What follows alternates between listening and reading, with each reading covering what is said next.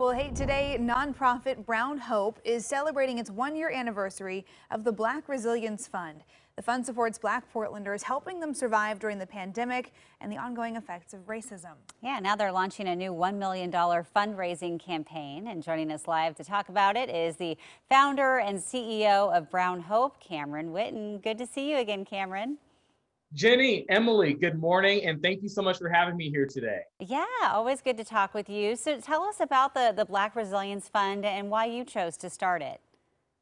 Thank you. Uh, Black Resilience Fund is an effort born right here in Portland to foster healing and resilience in our community by providing direct and immediate financial assistance to Black Portlanders. Uh, we launched today, one year ago, in the aftermath to George Floyd's murder as a way for us to build community and foster healing for Black Portlanders who are dealing with the shockwaves of the ongoing COVID 19 pandemic and systemic racism. Yeah. And we've done a lot in the past year, raising $2.5 million to provide real, tangible support for Black Portlanders. And we know we're not done. So we're out here today announcing a launch of a new $1 million campaign to provide real support for Black Portlanders who need that support right now.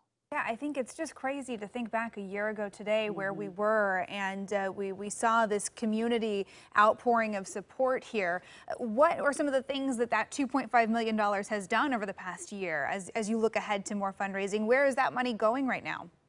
Yeah, this, this community has really demonstrated that hope is possible. We've provided tangible relief to over 7,000 Black Portlanders, and we've heard a lot from folks about this funding coming in when it was needed, helping to provide ease of mind and relief, whether that has been with help with rent assistance, whether it's been help with groceries, utility bills. Uh, so many people have been able to lean on this community in a really intense time of need.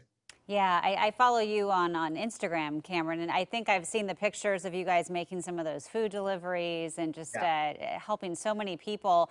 How can other people get involved? I mean, is it is it monetary donations you need the most, or, or how can people help?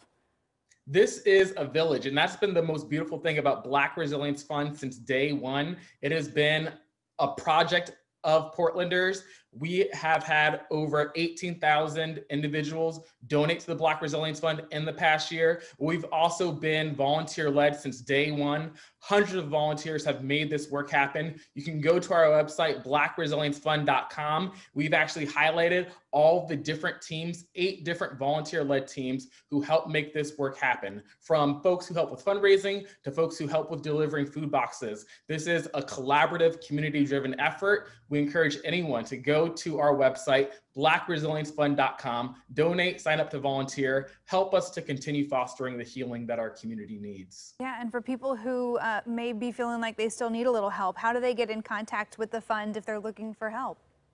Yes, today we have reopened our 2021 application period. Anyone who is seeking funds, please go to our website, blackresiliencefund.com, uh, go to the apply for funds section and please submit an application. All right. Cameron Whitten, always good to see you. Thanks so much for joining us and good luck with all this. It sounds like you guys are just helping so many people. Thank you for raising awareness. Have a wonderful day. Yeah, you, you too. too. And of course, if you're interested in making a donation to the Black Resilience Fund, we'll post a link on KOIN.com. Again, those funds go directly to Black Portlanders who need it the most.